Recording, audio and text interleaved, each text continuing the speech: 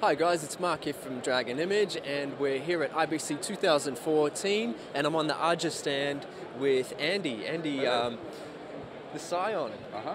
Lots of hype about this camera, lots Yep. of buzz since Uh-huh. the announcement. This is my first time actually seeing it in the flesh. Okay, right. It's getting beautiful. close. Yeah. it's actually nicer in the in the flesh than what it is. We appreciate that. On, Thank you very on much. film. Uh-huh. Um, I've actually thrown on on my shoulder. It was actually Uh-huh. a dummy that was on Uh-huh. another stand, Ah, and I got to okay, put it on my shoulder and Yeah. have a bit of a play with it.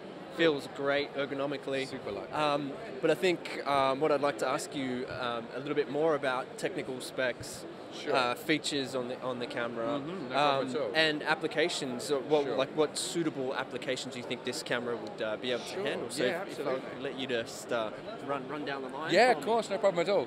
I mean, Cion in essence has been designed as to come after sort of the, the way that Super 16 millimeter cameras freed everybody up from the larger S35 original film cameras. Super 16 was a new lease of life. People were able to run and gun, get the shoulder mount view, the subjective view of the world. Cion follows on from that. There was a lean period where, and obviously you're using a 5D today to shoot this. Um, DSLRs changed the way everybody wanted to work and gave a whole new host of great creative tools out there. But in doing so, we lost ergonomics. So we brought ergonomics back with this. So we've not really reinvented the wheel. We've just sort of brought one back that people tended to move away from. In terms of the application for the camera, clearly in our minds, looking at 16 mil, documentary purposes were top of the list. After that, independent cinema. So we felt we had something that multiple people could work on, yet a single operator can do this, make all my adjustments, lightweight, it suits both very well. However, you have these in mind and you design a camera and then you put it out and let everybody look at it, and then people will tell you what your product is for, which is marvelous and that's enlightening. There are so many things that you can do, but you are this close to it. Other people can see a bigger picture. For example, we have now very strong interest in using this camera as a studio camera. So our partners at MTF, and they're not the only people doing this, but MTF have produced a B4 adapter mount for the camera. So we have those. This is a G mount by Nikon, but the principle is the same. This will swap out easily on the front and stick a B4 on there. Suddenly it's a studio camera. You want to do ENG, same thing. B4 will go through the- ENG purposes. We have EF mounts as well. So for people with lower budgets and want to use their EF lenses, they can do so as well. So that opens up a whole host of new reasons to use it. So nature, uh, commercials, corporate, you know, all this kind of stuff is very, very important to us, and we realise that. But the studio was one of the interesting ones. Outside broadcast.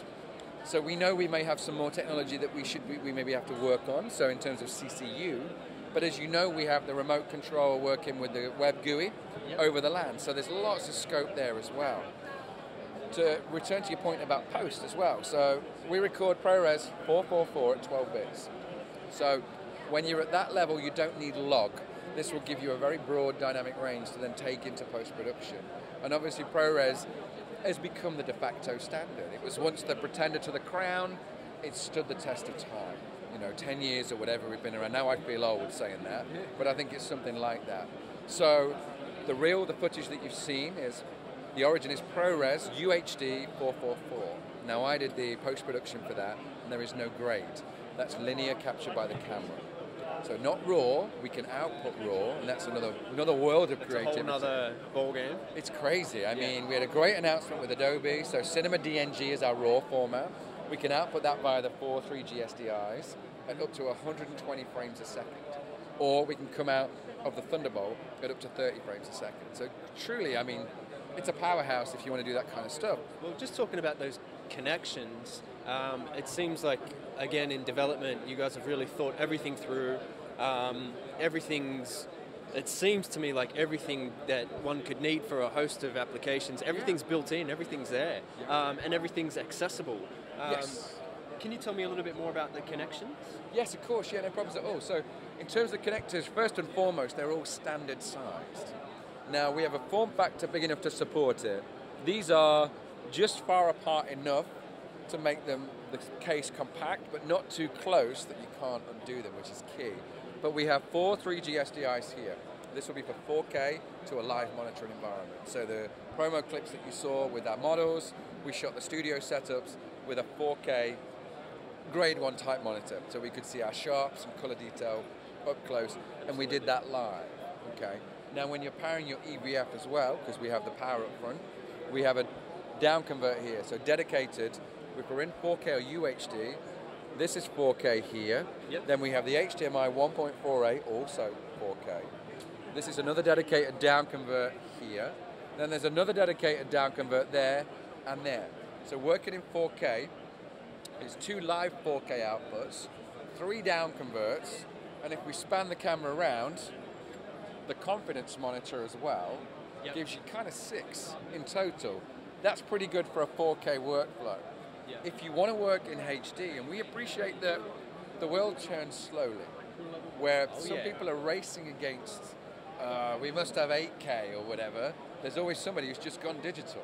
So we know that different worlds exist. This camera will work in HD. We can even record interlaced material as ProRes. I mean, we've kept that in. It's kind of a legacy, but Yep. we know some markets are really into Oh, it. absolutely, yeah. But this Broadcast makes markets. exactly. They need it corporate as well. Every single output then is live for HD. So that's like I think nine or ten outputs. It's a, it's a very good world to be in if you need lots of output. So the connectivity is nice, but as I say, key is regular size, no mini Yeah. converters. No, no proprietary connectors. Or Exactly. Yeah, if this is in your shoot, everything you have in the back of the truck will fit. absolutely. You know. Uh, XLRs, so it's that balanced audio. Yep, you've got balanced audio, you've got 48 volts, so phantom power, mic and line as well. So everything you need. Great. Very high quality converters. They are 24-bit, 48 kilohertz, Yep. and are certainly Low signal to noise ratio. Exactly, they're really nice quality. They're not 96, but they're 48, and they capture great fidelity. On the other side of the camera, we have our VU meters here. So real-time adjustments on set, and we monitor from the top here using the, the headphone uh, adapter. So very easy. Uh, one other thing I've noticed is that it seems to me like everything's ready to go out the box. There's no need for cheese plates and um, rig accessories. I mean, although I mean, a lot of, sorry guys that make rigs, but um, this everything's sort of sorted out. Everything's ready to go. You've got ARRI rosettes there. You can Yeah, the bolt M6 a handle straight on. rosettes. Um, you don't. Other than that, other than some grips, it's like you don't really need much. No, I mean, the, the idea with it being is at the bare minimum, you can take it out the box, stick a lens on it, stick the EVF on and get it on your shoulder, you know. Kind of crude, but adding the extra armature is going to give you a bit more flexibility, but you can use whatever you prefer. And part of the, the display stand that we have here is showing lots of different ways of being able to set the camera up. Yeah. You know, so that's very important. So you, you can see that over there. We produce a full range of accessories ourselves. We use 15 mil rods. The distance to the center is agreeable with matte boxes from any of the major manufacturers. And again, our guys are showing different ways of, of working here. So lots and lots of great scope uh, for accessories as well. Yeah. Absolutely. Awesome. Um, okay, so price point, what are we looking at? Uh, we're just under nine thousand dollars, so eight nine nine five, and that will be a two-year warranty. Uh, that's US dollars? That's US dollars. That's great. So very, you know, I think a competitive price. In terms of the output, we really feel like we quite elegantly cover a, com- a, a number of markets because we get in HD and 2K we sample the full sensor and we scale. It's not a crop. So that gives a really nice fidelity image. And there are other serious camera manufacturers that have similar technology. It works very well for them. So we have the same thing. If you work in 4K or UHD, then we just take the full sensor and that's what goes across. So, from our point of view, great versatility. If you're joining this camera as a HD user, it's going to be there around the curve because the, the way that you can work with it is so versatile and flexible. And the media storage, as we said, is the Pak media. These things are 512 gig. So if you work in 4K at the highest quality, it's going to be about 45 minutes. So great recording time. So if you're going to work in HD, well, times it by four. You've got an awful lot of scope. So we think that's a really nice feature.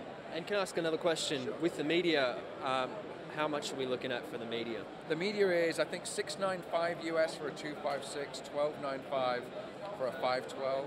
Um, I think roughly the way to look at it is you will get around four times the media for the same cost as CFast. So CFast obviously being very fast media, Yeah. you're limited by size and it's very expensive at the moment. That's quite reasonable. That's I great. I think so, and I think we're certainly no worse than any other out there. and we will warranty the performance for you. So we say, this will do it every time. Now, I think a lot at the moment, I come from a, a long term production background. Working with tape or with film, you would never put the least expensive tape or the least expensive film. You make a big amount, uh, you know, it's an inverted pyramid. If production looks like this now, we have all the cost up here, the talent and so on and so forth, and we get down to using hard drives which cost $50. That doesn't make sense No, to not us. at all. Yeah. So we warranty the performance. The reason why we have a strip which is removable, 10,000 insertions. I mean, you're never going to wear it out. Yeah. And also in the field, interestingly, we can drive dailies. So you can playlist this via the web UI and then play all your dailies out from the 4.3 SDIs to a 4K projector or a TV.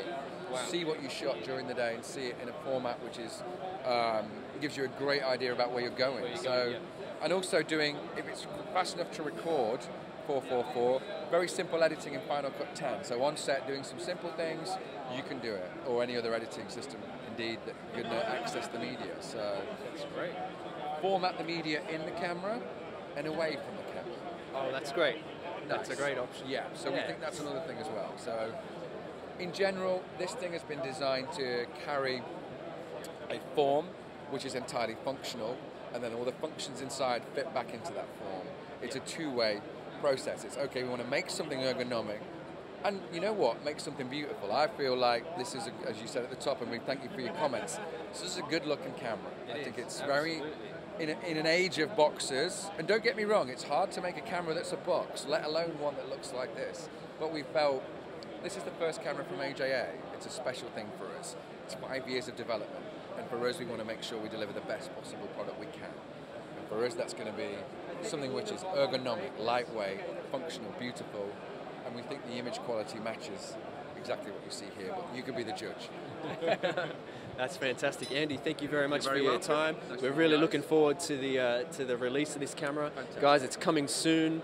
Andy told me personally it's coming soon. It's Thanks very much. You're very welcome. All right. Very nice to meet you guys. Hope Thank to see you. you again soon. Thanks, Andy.